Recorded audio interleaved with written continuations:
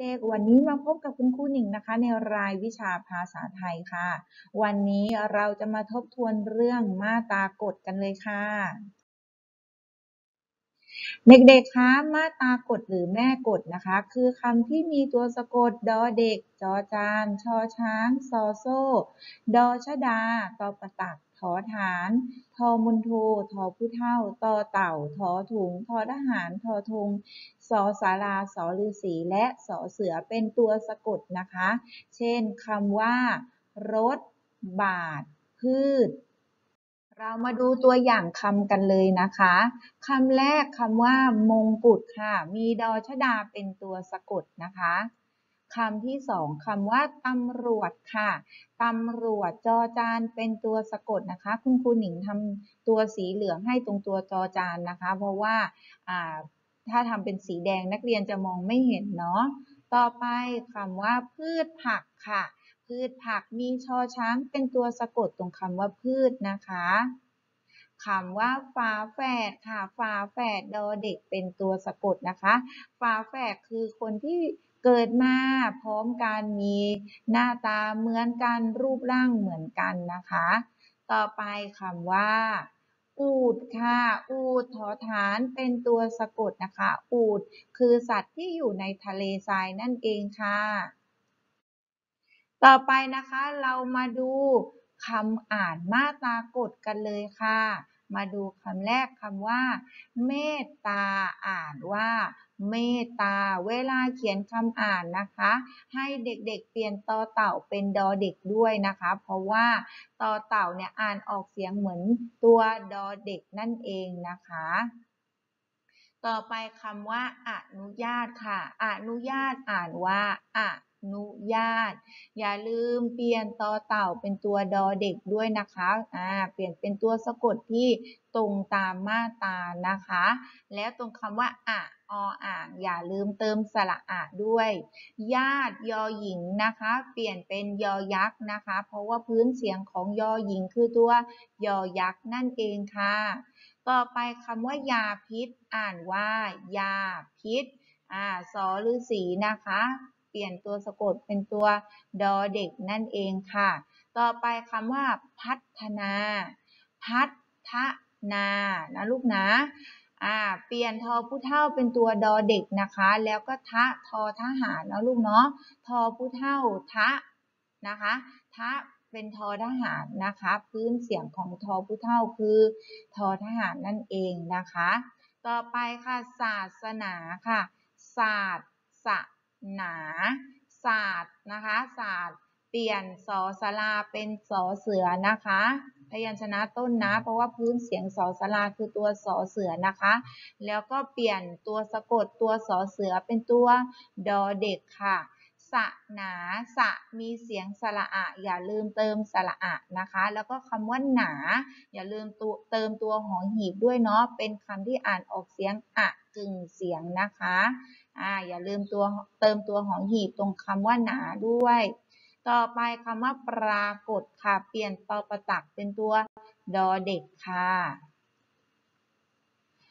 คราวนี้นะคะเด็กๆ มาดูความหมายนะคะคำแรกความหมายของคำคำว่าอวกาศหมายถึงบริเวณที่อยู่นอกบรรยากาศนะคะอ่าอยู่นอกบรรยากาศของโลกคืออยู่นอกโลกนั่นเองเนาะที่เราเราเรียกว่าอวกาศนะคะ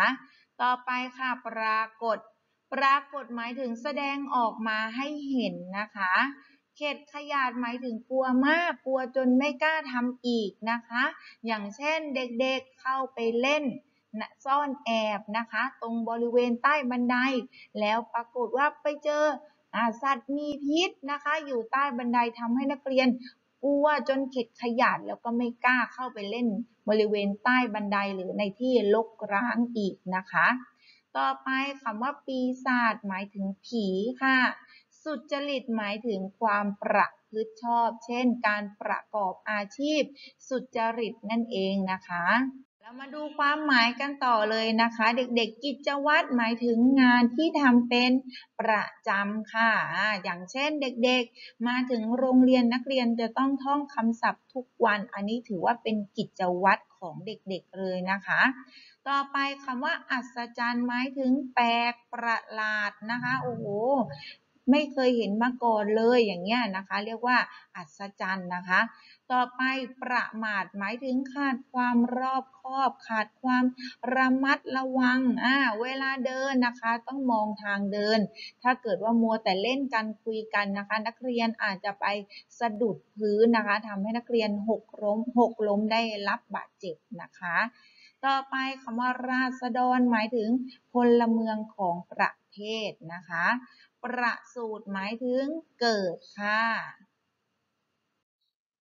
อ่ามาดูกันต่อเลยนะคะ ทบทวนความรู้ฝึกหาคำตอบกันค่ะอ่าในวันนี้นะคะ เราจะมาใส่เครื่องหมายถูกและเครื่องหมายผิดลงในคำมาตากฎกันเลยค่ะ เราไปดูกันที่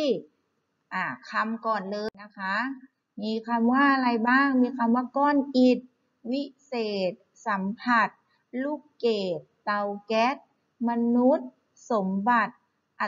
อัศจรรย์กล้วยบวชชี โฆษณา พยาคุดนะคะ อะ คราวนี้เรามาดูกันเลยคำแรก คำแรกคำว่าก้อนอิฐเขียนถูกหรือเขียนผิดคะเด็กๆ อ่าถูกต้องนะคะ ก้อนอิฐเขียนถูกต้องแล้วนะคะถอฐานเป็นตัวสะกดเนาะต่อคำว่าวิเศษค่ะคำว่าวิเศษถูกหรือผิดคะถูกต้องค่ะวิเศษเขียนถูกต้องแล้วนะคะ ต่อไปคำว่า สัมผัสค่ะถูกหรือผิดเอ่ยผิดนะคะอ่าเดี๋ยวเราค่อยกลับมาดูนะคะ ว่าคำที่เขียนถูกเนี่ยเขียนยังไงนะคะคำว่าลูกเกดค่ะ ลูกเกดเป็นคำที่ ถูกต้องค่ะอ่าเด็กๆรู้จักลูกเกดไหมคะ ลูกเกดคือองุ่นนะคะ ลูกองุ่นแห้งชนิดหนึ่งนะคะ เรานิยมจะเอามาใส่ในขนมปังใช่ไหมลูกอ่านะคะ มีรสชาติออกเปรี้ยวๆหวานๆเนาะต่อไปคำว่าเตาแก๊สค่ะ ผิดนะคะ เตาแก๊สเขียนอย่างนี้ผิดนะลูกนะ เดี๋ยวเราค่อยมาดูทีหลังเนาะว่าเขียนยังไง ต่อไปคำว่ามนุษย์ค่ะถูกหรือผิดเอ่ยถูกต้องนะคะ ต่อไปคำว่าสมบัติค่ะ สมบัติเป็นคำที่ถูกต้องนะคะ เขียนได้ถูกต้อง ต่อไปคำว่า อัศจรรย์ค่ะ อัศจรรย์นะลูกไม่ใช่อัศจรรย์นะคะ อัศจรรย์ค่ะ ถูกต้องแล้วนะคะ ต่อไปค่ะกล้วยบวชชีผิดนะคะ เดี๋ยวเราค่อยมาดูทีหลังเนาะว่าเขียนยังไงถึงจะถูก ต่อไปคำว่าโฆษณาค่ะ ถูกต้องนะ โฆษณาทางวิทยุทางโทรทัศน์นะคะ หรือเป็นโฆษณาที่เขียนลงในกระดาษนะคะนะคะ ต่อไปคำว่าพยาคุดค่ะ ถูกต้องนะคะพยาคุดนะคะอ่าต่อไปคราวนี้เด็กๆมาดูเนาะคำที่เขียนถูกเขียนยังไงอ่าคำว่าสัมผัสนะคะ ต้องมีซอเสือเป็นตัวสะกดเนาะต่อไปคำว่าเตาแก๊สคำที่ถูกต้องซอเสือสะกดนะคะ ต่อไปคำว่ากล้วยบวชชีค่ะชอช้างเป็นตัวสะกดนะคะ ตรงคำว่าบวชเนาะ อะคราวนี้เราไปดูกันต่อค่ะ เติมตัวสะกดมาตากดให้ถูกต้องค่ะ เราไปดูกันเลยอ่านะคะ เดี๋ยวเราไปดูกันที่คำแรกค่ะคำแรกคำว่าละเอียดตัวอะไรเป็นตัวสะกดลูกดอเด็กนั่นเองค่ะอ่าต่อไปคำว่าซื่อสัตย์ค่ะตัว ต่อเต่านะคะ ต่อไปค่ะคำว่าธรรมชาติค่ะต่อเต่าแล้วอย่าลืมสระอีด้วยนะคะ กากบาทค่ะ ทอทหารนั่นเอง เศรษฐีสอลือสีค่ะ อาวุธค่ะ ทอทงนะคะ เป็นตัวสะกด ปรากฏค่ะ ตอประตักนะคะ เด็กๆคำว่าปรากฏนะคะคำว่าปรากฏเด็ก ๆ จะชอบสับสนระหว่างดอชดากับตอประตักเนาะเด็กๆดูดีๆนะคะ ต่อไปคำว่าวิทยุค่ะทอทหาร ต่อไปค่ะ สัตว์น้ำค่ะ ต่อเต่าคำว่าสัตว์น้ำกับคำว่าซื่อสัตย์แตกต่างกันตรงตัวกาลันนะคะ ถ้าคำว่าซื่อสัตย์ซื่อสัตย์สุจริตเนี่ยจะเป็นยอยักษ์กาลันเนาะแต่ถ้าเกิดเป็นคำว่าสัตว์ สัตว์น้ำสัตว์ป่าสัตว์เลี้ยงสัตว์เลี้ยงสัตว์บกสัตว์เลื้อยคลานให้เป็นตัววอแหวนกาลันนะคะ ต่อไปคำว่ารสชาติค่ะสอเสือค่ะ โอกาสสอเสือเช่นเดียวกันค่ะ ต่อไปคำว่า มีดบาดค่ะดอเด็กเป็นตัวสะกดนะคะอ่าเราไปดูกันต่อค่ะ ตักบาตรอ่าทำบุญตักบาตรตอนเช้าคำว่าอ่าตัวสะกดตัวตอเต่านะคะ ต่อไปคำว่า วัฒนธรรมไอ้คำนี้เราเพิ่งเรียนกันไปเมื่อกี้นี่เองตรงเขียนคำอ่านใช่ไหมลูก ทอผู้เท่าค่ะ ต่อไปคำว่ากฎหมายค่ะ ดอชดาอ่าคำว่ากฎหมายนี่ก็เหมือนกันเด็ก ๆ มักจะเขียนผิดบ่อย ๆ นะคะ กฎหมายดอชดานะลูกนะ ต่อไปสัดส่วนค่ะ ดอเด็กสัดส่วนนะคะ สัดส่วนของเรานะคะ อกเอวสะโพก อันนี้เนาะเขาเรียกว่าสัดส่วนนะคะ ต่อไปทายาทค่ะทอทหารนะคะ ประกาศค่ะสอสาราคำนี้เด็กๆก็เขียนผิดบ่อยนะคะ ประกาศโอกาสนะคะ เด็กๆดูดีๆนะ กระดาษค่ะอ่าสอลือสีนะคะ พัฒนาค่ะทอผู้เท่า กิจการ จอจานค่ะ ต่อไปพิซซ่า อันนี้เด็กๆไม่น่าจะเขียนผิดเนาะซอโซนั่นเองค่ะ ต่อไปค่ะ ราษฎร สอฤาษีนั่นเอง เป็นไงคะเด็กๆพอทำได้ไหมลูก ถ้าเกิดว่าเด็กๆยังไม่อยากที่จะดูอ่าอยากลองทำเองยังไม่อยากดูเฉลยนะคะ เด็กๆก็หยุดไว้ตรงตรงที่ยังไม่มีตัวสะกดขึ้นก่อนก็ได้นะคะ แล้วลองทำดูเนาะอ่าต่อไป ค่ะมาว่ามาวิเคราะห์โจทย์มาตรากฎกันบ้างนะคะ เราไปดูกันทีละข้อเลยนะคะ อันนี้ครูหนิงเอาขึ้นมาให้เด็กได้ดู เพราะว่าบางทีเนี่ยเด็กๆน่ะเวลาเจอโจทย์ที่เป็นอ่าโจทย์ยาวๆแบบนี้แล้วเด็กๆจะทำผิดกันบ่อยเนาะอะคราวนี้เรามาดูกันทีละหนึ่งข้อเลยนะคะ ข้อนี้อากาศเป็นพิษชีวิตจะสั้น ต้นไม้เท่านั้นทั้งกันและแก้คำขวัญนนี้ใช้คำว่าตากฎ นะคะ กี่คำอ่าเด็กๆดูดีๆนะคะ ใช้มาตากฎกี่คำก่อนอื่นก่อนที่เด็กๆจะเอ่อก่อนที่เด็กๆจะเลือกคำตอบลงไปให้เด็กๆนับก่อนนะคะ อันแรกมีคำว่าอะไรบ้างลูกมีคำว่าอากาศ มีคำว่าพิษ มีคำว่าชีวิตนะคะ นับดูสิคะกี่คำหนึ่งสองสามมีสามคำนะคะ ข้อที่ถูกต้องคือข้อที่หนึ่งนะคะ เพราะฉะนั้นเด็กๆอย่าเพิ่ง อย่าเพิ่งเลือกคำตอบเร็วนะคะ ให้นับดูดีๆก่อน นับแล้วดูทบทวนใหม่อีกรอบหนึ่งว่านักเรียนเนี่ยนับครบหรือยังนะคะ อันนี้เป็นการฝึกวิเคราะห์โจทย์นะลูกเนาะเป็นการวิเคราะห์นะคะ ต่อไปค่ะ ประโยคใดที่มีคำ มีคำที่มีตัวสะกดในมาตรากฎมากที่สุดนะคะ อันนี้เด็กๆจะต้องนับทีละคำนับทีละข้อ เดี๋ยวเรามาดูกันที่ข้อหนึ่งก่อนนะคะ ห้องเรียนของเราจะสะอาดทุกคนต้องปัดกวาดเช็ดถู มีคำว่าอะไรบ้าง มีคำว่าสะอาด มีคำว่าปัด มีคำว่ากวาด มีคำว่าเช็ด อ่านนักเรียนดูซิคุณครูนับหมดครบหรือยังในข้อที่ 1 ครบแล้วมีทั้งหมด 1 2 3 4 มี 4 ข้อใส่ตัวเลขไว้ก่อน ข้อที่ 2 คนขับรถต้องปฏิบัติตามกฎจราจรอ้าวนับค่ะ มีคำว่ารถ มีคำว่าปฏิบัติ มีคำว่ากฎ มีหนึ่งสองสามนับครบหรือยังคะ โอเค ครบแล้วสามคำเขียนตัวเลขไว้ ต่อไปข้อที่สองข้อที่สามดวงอาทิตย์ขึ้นทางทิศตะวันออกนับค่ะ มีคำว่าอาทิตย์ มีคำว่า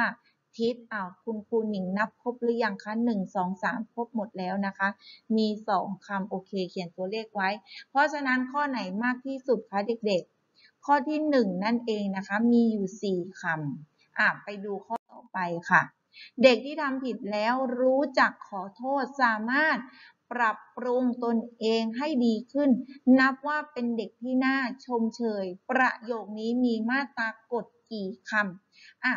อีกแล้วนะคะ โจทย์แบบนี้นะคะ โจทย์ยาวๆแบบนี้นับก่อนเลยค่ะ มีคำว่าอะไรบ้างลูกมีคำว่าผิดนะคะ มีคำว่าขอโทษนะคะ มีคำว่าสามารถนะคะ ดูซิมีอีกไหมหนึ่งสองสามสี่ห้าหกเจ็ดแปดไม่มีแล้วนะคะ โอเคค่ะ ทั้งหมดแล้วครบถ้วนเนาะ ครูหนิงดูอีกรอบหนึ่งนะคะครูหนิงดูอีกรอบหนึ่งอะโอเค ครบหมดแล้วนะคะ ทั้งหมด 3คำข้อที่ถูกต้องคือข้อที่ 2 นั่นเองเห็นไหมคะ เด็กๆ เพราะฉะนั้นเด็กๆ อย่าลืมดูให้ครบถ้วนนะคะ อันนี้เป็นการฝึกวิเคราะห์เลยนะคะ เป็นการฝึกวิเคราะห์เลยคราวนี้นะคะสรุป มาตากฎนะคะ มาตากฎลักษณะคำมาตากฎมีตัวสะกดดังนี้นะคะ มีดอเด็กจอจานชอช้างซอโซดอชดาตอประตักทอฐานทอมุนโททอผู้เท่าดอตอเต่าทอถุงทอทหารสอสาราสอฤาษีและสอเสือนะคะ ทั้งหมดนี้จะอ่านออกเสียงเหมือนมีดอเด็กเป็นตัวสะกดนะคะ ตัวอย่างคำเช่นคำว่าอายุทยานะคะนี่ทอทงนะคะ สังเกตนี่ต่อเต่านะคะ ประเทศนี่สอฤาษีนะคะคุณนิงขีดเส้นใต้ไว้ให้แล้วเนาะอันนี้คือตัวอย่างคำในมาตรากฎนะคะ เพราะฉะนั้นคุณครูฝากให้เด็กๆ ทบทวนบทเรียนกันด้วยนะคะ ไม่ยากเลยสำหรับในบทนี้นะคะเอาละค่ะสำหรับในวันนี้คุณครูหนิงขอจบเพียงเท่านี้นะคะ สวัสดีค่ะ